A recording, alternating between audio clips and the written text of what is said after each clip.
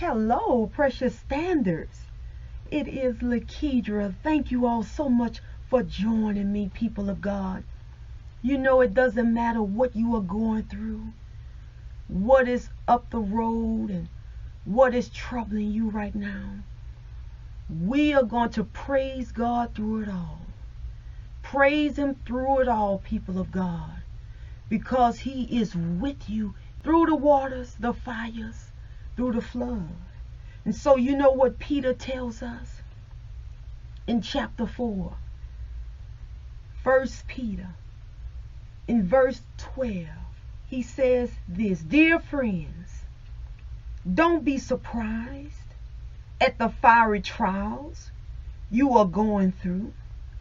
And so this means even in your marriage, people of God, even in your household, whatever it is you are facing, the apostle Peter is saying to you, don't be surprised at the fiery trials you are going through as if something strange were happening to you. In verse 13, he says, Instead, be very glad.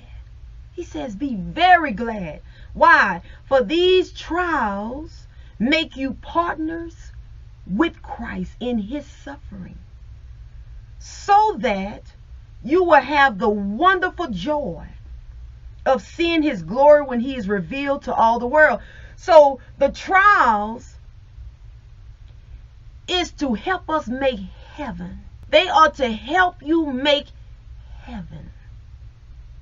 So when Christ comes back, he says, you will have the wonderful joy of seeing his glory when it is revealed to all the world. So the trials are for your own good.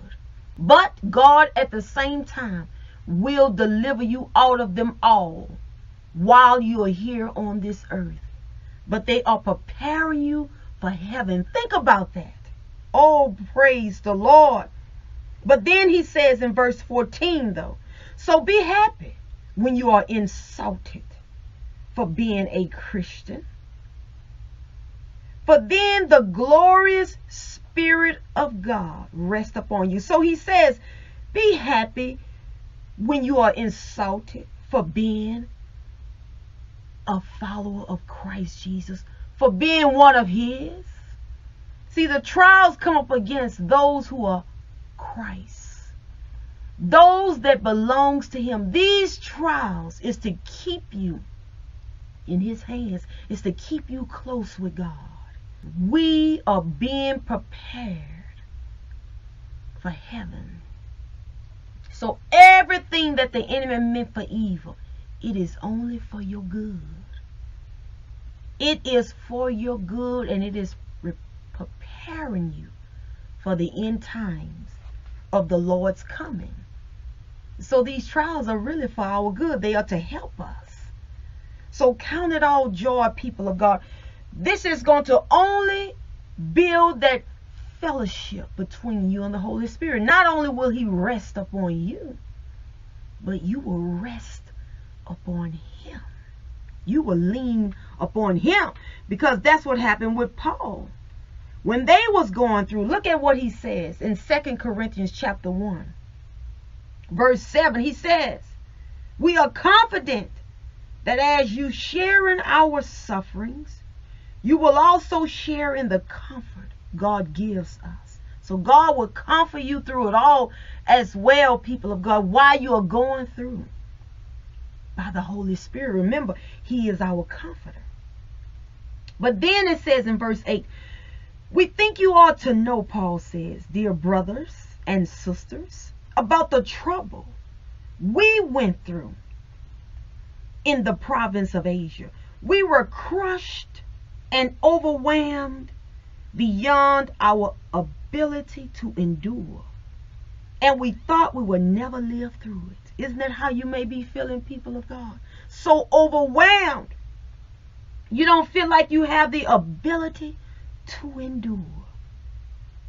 And as Paul says, we thought we would never live through. And you know, we all know those moments. Going through what we've been going through in our marriages and what we've been facing and all the troubles that has come along with it has brought you to a place to where you don't know if you can go ever even make it through it. But this is what he says. We thought we would never live through it. In fact, we expected to die. But as a result, we stopped relying on ourselves and learned. He learned something. We learn how to rely only on God, who raises the dead. And so th- that's what these trials do. They, they, they help you to learn how to rely upon God, causing that close fellowship.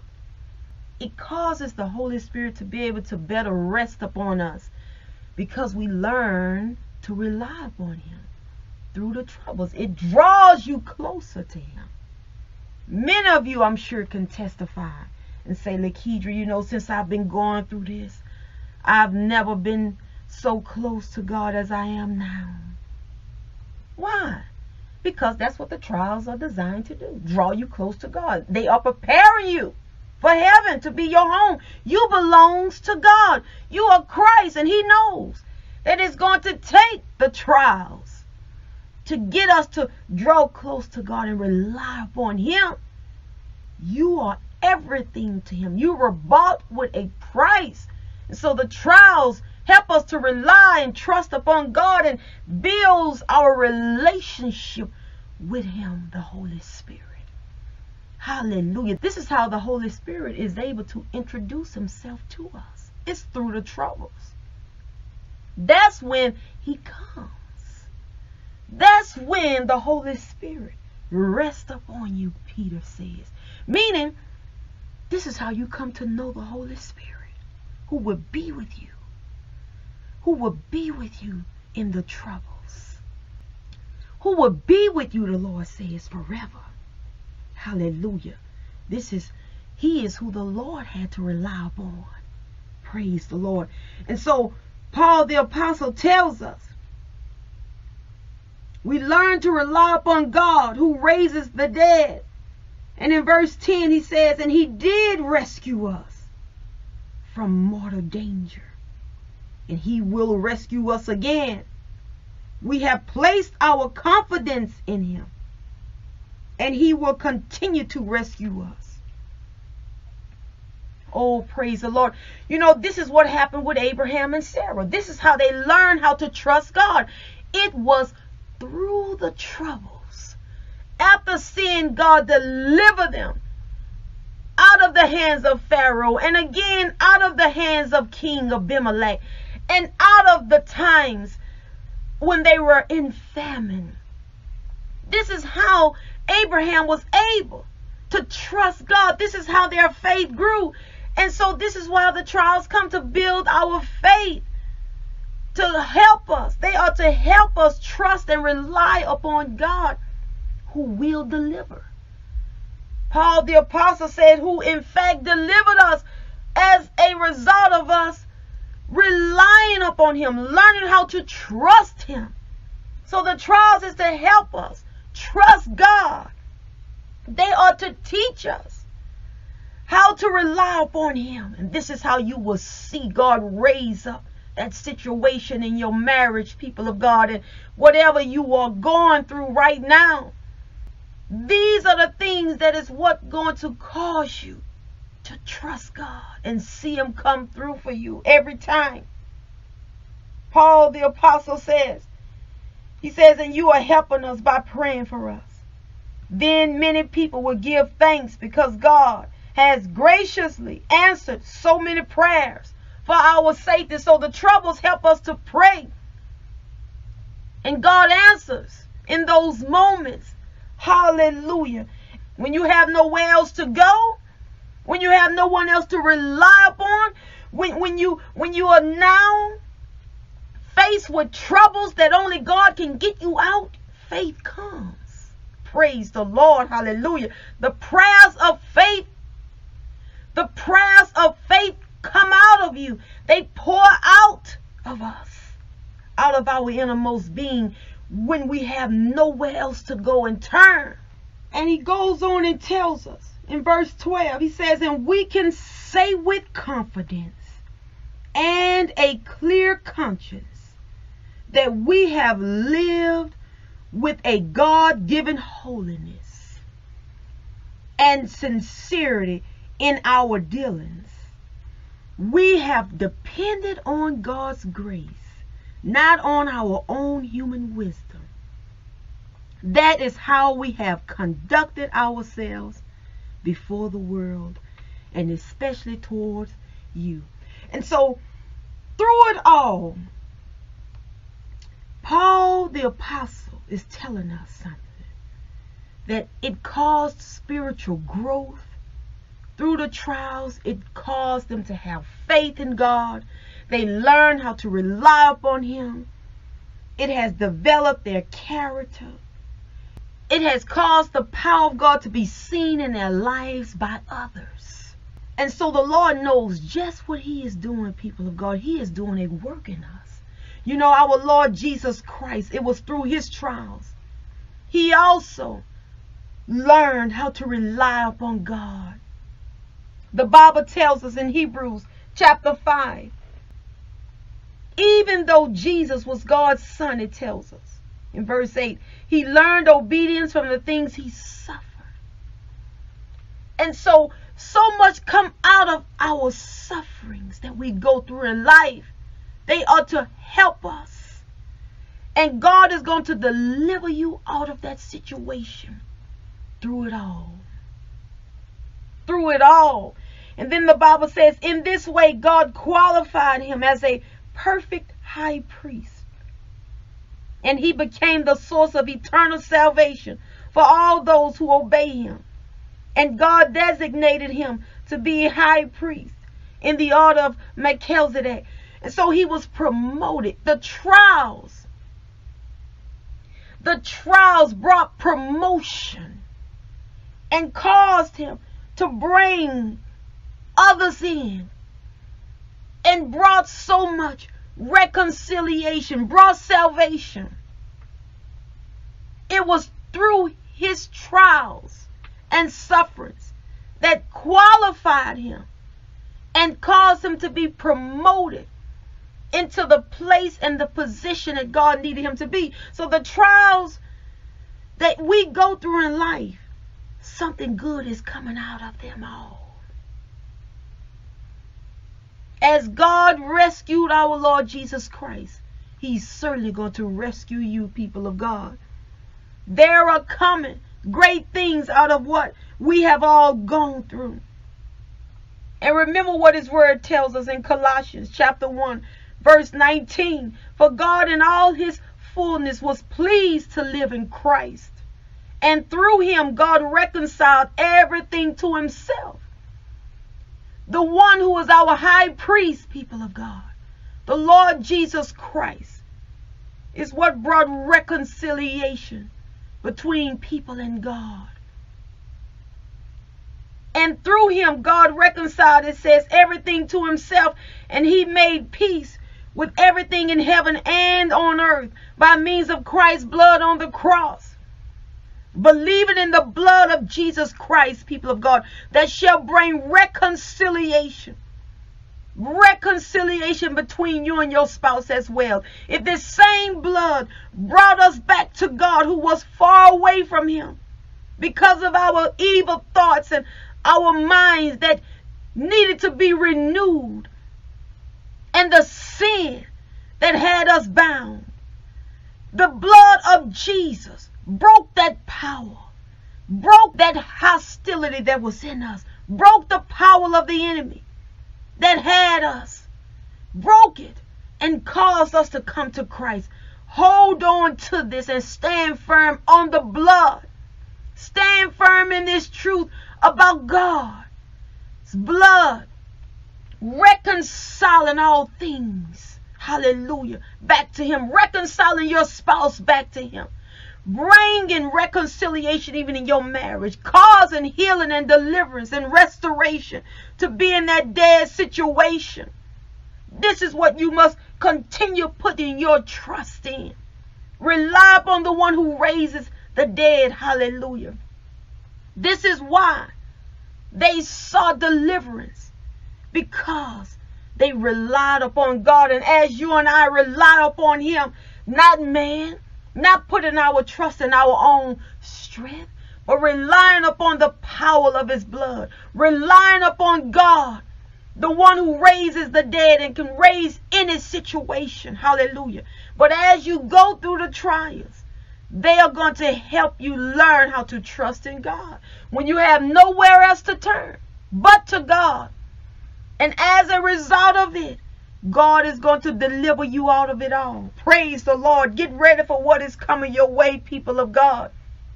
Restoration and healing and deliverance is coming your way through all the trials that you are going through right now. They are going to help you learn how to rely upon God and see Him come through for you while they are also preparing you for heaven to be your home. So much is coming out of this godly character, faith, love, all the fruits of the Holy Spirit, and even a closer relationship with God. There is only coming blessings. Yes, what the enemy meant for evil God is only going to use it all for your good. These things are going to cause you to cry out to the one who is your deliverer from all evil. Praise the Lord. That spouse of yours is coming out, the one that you are standing in the gap for, the one that you are pleading to God on the behalf of. And the blood of Jesus, hallelujah, that you trust in is bringing that same reconciliation between you and your spouse. That brought that reconciliation back between you and God, that brought healing and restoration and deliverance in your life and renew your mind and cause your character to be in the image and the likeness of God is the same power we are trusting in to do the same for our loved ones. Hallelujah. As for me and my house, people of God, we are serving the Lord. As for you and your house, you are serving the Lord in the mighty name of Jesus and through the blood and the resurrection power of God's holy might. The Holy Spirit is with us and He is changing us all. And He is changing us through it all. Praise the Lord. Hallelujah. There is coming great deliverance and power. So the Word of God. The Word of God is showing us that don't think it's something strange you are going through alone. Every one of us have gone through this. This is part of the process. This is part of the process. This is a part of the journey that we all are on with our Lord. We are sharing in his sufferings. But just as God delivered him, he's going to deliver you. We are his body. And he is the head of us, the church, which is his body. We are followers of him. Hallelujah. And we who are sharing in his sufferings shall also share in his glory. You are going to see God. So continue trusting in him. You are coming out of this situation, people of God. Hallelujah. There is coming restoration and reconciliation through the blood of Jesus. But remember, we must continue holding on holding on, believing this truth, and stand firm on it. Stand firm on what the blood of Jesus has already done for you, people of God. Hallelujah. The power of darkness is broken. It has already been destroyed. Now you stand firmly on that truth. Hallelujah. And rely upon the one who raises the dead. Rely upon him who is raising up that dead situation in your marriage in the mighty name of Jesus. And now we are going to pray. Oh, we thank you, Lord God. Hallelujah for this resurrection power and grace. Thank you, Lord, that through it all we have learned and are learning how to trust and rely upon you and not our own strength and lean not to our own understanding, but acknowledge you with all our heart, all our soul and mind and strength in all that we do so that you will lead and guide and direct our path.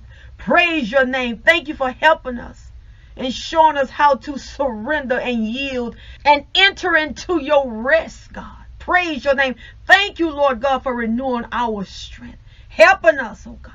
Praise your name, giving us comfort and peace. Thank you, Lord God. Hallelujah. for helping us through it all. We thank you, Lord God, that weeping only endures for a night, but joy surely coming in the morning. You are hearing and answering our prayers. We love you and adore you, Father God. And thank you, Lord God, for your people that have also sown into the work. Lord, may you continue blessing the works of their hands. I pray over their seed, Lord, that it be multiplied, that you will remember their good deeds forever as you promised in your word. Open up doors for them, Lord God, that has been shut. May you bless them, Lord God. May you prosper them in all that they do in the mighty name of Jesus. And Father, I thank you for every stander that has joined me in prayer. We all come together in agreement saying amen, amen, and amen. Hallelujah. Thank you, Lord God, that you are with us. We praise you. We bless your holy name. Hallelujah. Trust in him, people of God. That is the key. He will deliver you. Hallelujah. Remember that God loves you and I love you too. And until next time, bye bye.